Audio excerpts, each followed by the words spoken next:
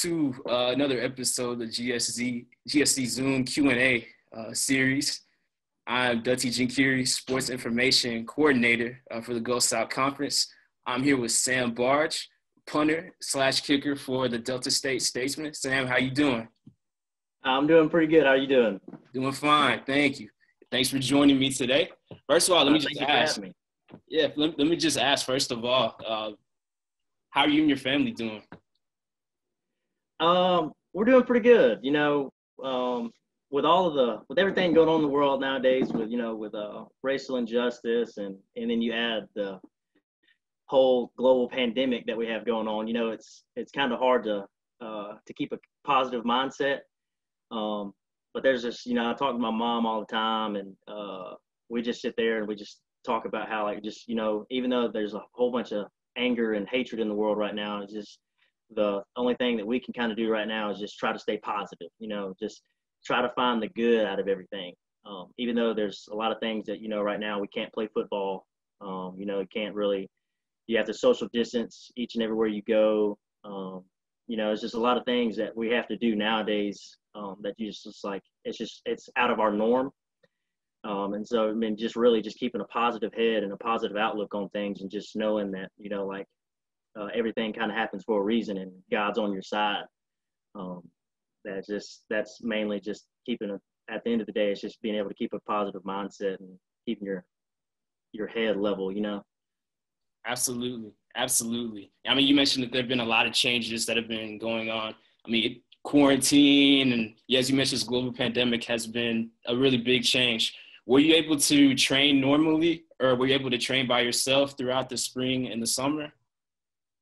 Um, well, you know, before the whole thing happened, uh, for us, it happened right there at the first week in March, uh, where we ha- we're having our spring break, and so uh, thankfully we were able to uh, get workouts and kind of like semi practices in uh, before everything shut down and we weren't allowed back on campus.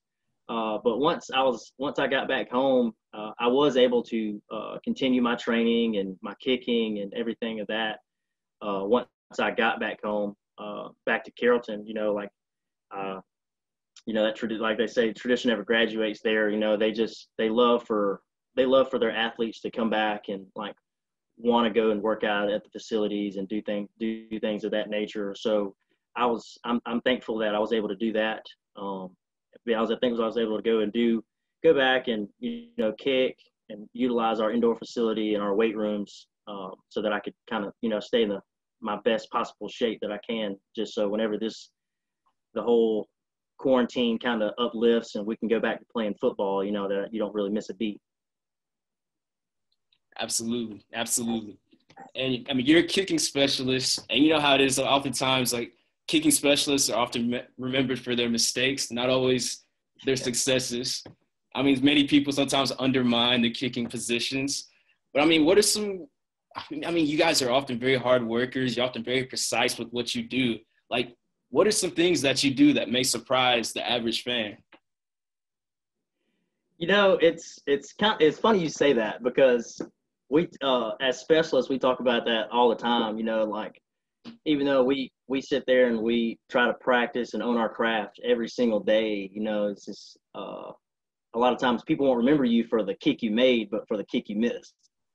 Uh, but I mean, there's, I mean, thankfully for us here at Delta State, I mean, we have so many, so many different things, uh, avenues that help us, you know, like own own in on our craft. Um, which is why, like, it, during practice and stuff, you know, uh, during like our times when we kick, we're able to get, uh, we're able to have like three different camera angles on us and things like that. So you have three different views along with the coaches and other specialists uh, that are on you. So if you're just having a bad day, we're able to go back and uh, break down the film, you know, draw up and see, okay, you're doing this here, doing this there, you know, and things like that. And so, I mean, just we have the chances of breaking down film, you know, and a lot of that that comes with being a specialist is, is just it's very mental. And so not only are you training your mind and your body, like in the weight room and at practice and, you know, just doing various different types of drops into the wind with the wind with a quartering, quartering tailwind, quartering headwind, you know, things like that.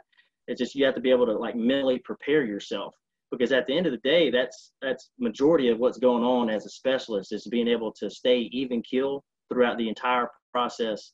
Uh, because you have to know, like, okay, you have to put yourself through scenarios. Okay, what, what am I doing right here? I'm I'm backed up in the end zone. I've got to be able to flip the field, but get the ball out at the same time, while also putting the ball where it needs to be, uh, so you don't blow your coverage and things of that nature. You know, just being able to put yourself in different uh, different scenarios and training your mind so that when you when adversity does strike, that it doesn't hit you by surprise.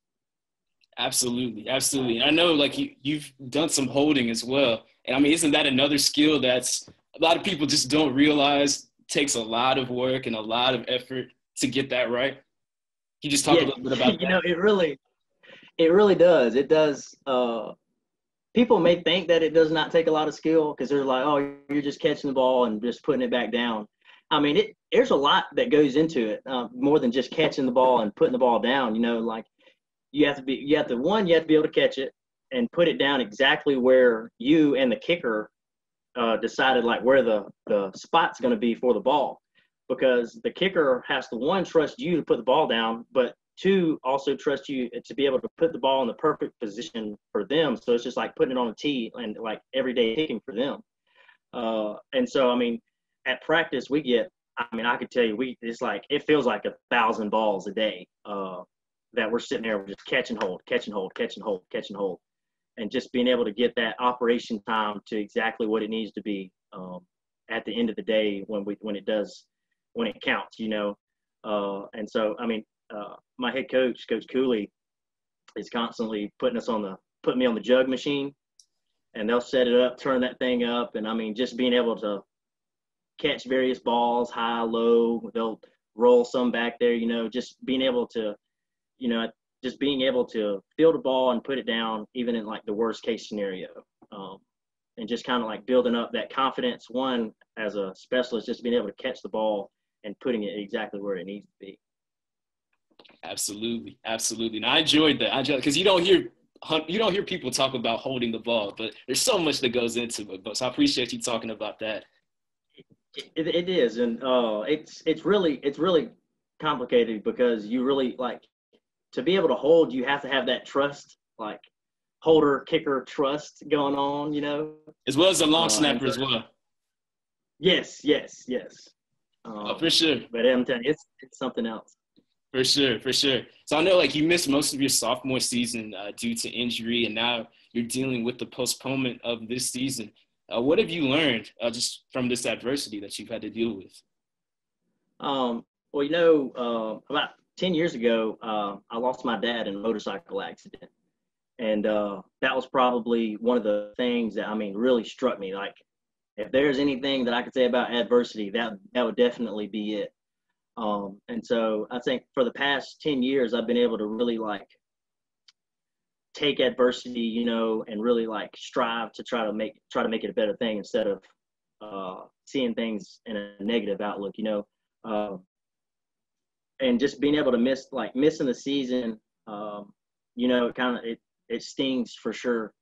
Uh, but at the end of the day, it's just keeping a positive mindset, like we talked about earlier. Uh, you know, there's even though you can't play, but there's but even though you can't play this season, there's always something that you can do to uh, better yourself and to better your like better yourself for the team. Um, and that's one thing that we constantly talk about is what are you doing each and every day to better yourself for everybody else, not only for yourself but for everyone. Because you know we just uh, at Delta State we ever we consider ourselves a family. You know, like you don't want to you don't want to do something that uh, hinders you or your family in any negative way possible. So if you're not getting better, then what are you doing? You know, that's the kind of you kind of we kind of wake up and ask ourselves that every, each and every day. Absolutely, absolutely. And uh, one thing I saw, you're you're commercial aviation major. I know you, you don't necessarily come around commercial aviation majors too often. So I just wanted to ask you, like, what made you interested in that area, and what do you plan on uh, on doing with it? Um, well, you know, it's uh, I'm trying to really think about like when I really uh, thought about you know wanting to get into get into and pursuing uh, aviation. Uh, I kind of woke up one day and uh, I was talking to my mom because she, well, throughout high school, she would always ask me. She's like, "Hey, have you like thought about like what do you want, like what you want to pursue in life?" And I mean, it it would throw me for a loop. I was like, man, I was like, I really don't know because I I never wanted to be one of those people. Not like it's a bad thing or anything, uh, but I never want to be one of those people that went through high school and then went through college and then graduated from college and then realized like exactly what they wanted to do. Like I wanted to be concise, precise, and like be able to really like know exactly what I want to do and stick with it. And so uh, one day I was just like, no, like flying would be like a really good avenue to go down. And so I was contemplating flying and uh, engineering, which is kind of crazy because I'm not the best at math.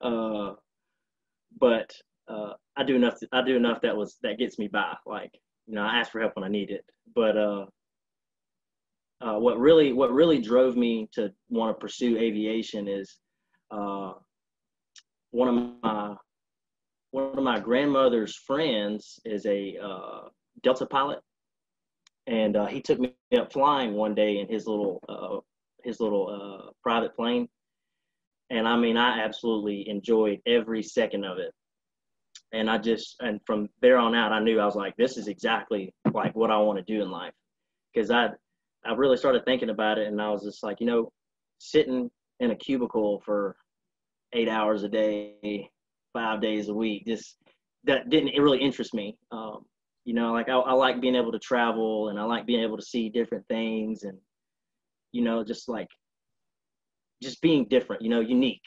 Um, kind of going out of the norm, especially since you know, aviation was is unheard of in my family. You know, uh, nobody in my family has ever ever wanted to to go flying or you know like pursue that avenue. And so I feel like he's like, you know what, like I feel like this would be something that I want to do for the rest of my life. And so that's kind of like the driving force as to what uh, chose me to, what made me want to choose uh, aviation. For sure, for sure. That's that's interesting. So as, as I said, like, I've, I've never met a commercial aviation major, so that's that's a really good area to get into. And so best wishes to you in that. Oh, thank you so much. I really do appreciate that. For sure. It's a it's a lot of fun, that's for sure. For sure, for sure. So we'll end it with a few fun questions. Uh, let me just ask you, uh, what's your favorite meal? My favorite meal. You know, it might not be the healthiest meal, but my favorite meal of all time would be uh, hot wings, no doubt. I could roll with that. So like from Wingstop, Buffalo Wild Wings, or what? Oh, Wingstop, no doubt. Wingstop. Wingstop. All right. Wingstop. I could roll with that. I could roll with that's that. My, that's my place. For sure. What's your what's what's your favorite game uh, since you've been at Delta State? My favorite football game.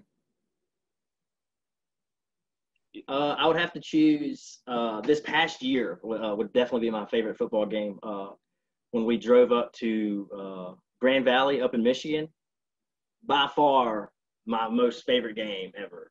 Like uh, that was my first time ever playing in front of uh, 17,000 people. You know, it was it was definitely an experience to remember for sure. Because you know here here at Delta State we get like five to seven thousand people, and you know just being in that atmosphere of like, wow, this is like insane. You know, like have like it was literally I literally had the most fun I ever had playing football uh, when we played there, and so that most definitely be my my most favorite game since I've been here at Delta State.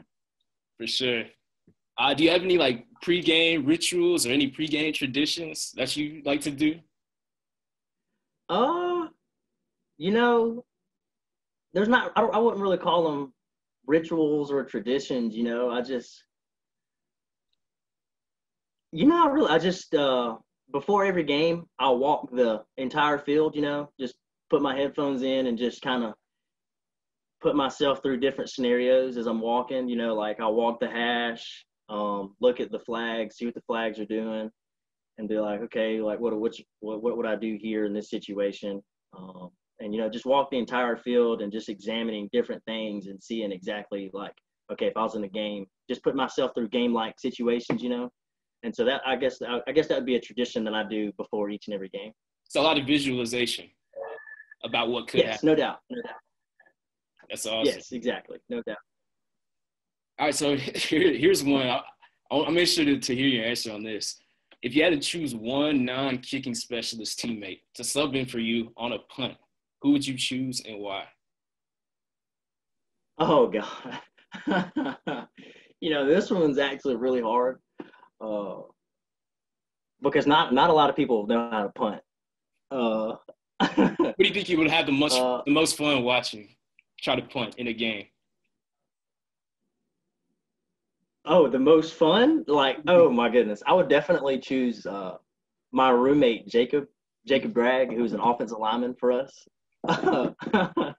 because he always he's always joking with me about like, uh, hey, you messed up on your kicks today, uh, just something like that, and just I would lo- I would honestly love to see him in the middle of a game to try to go out there and uh, and try to punt but that's that's one person I would definitely choose to do that, just so he can experience exactly what uh, specialists have to go through. Absolutely, it should make y'all switch. You should go be a lineman for one play, and you should have to punt for one play.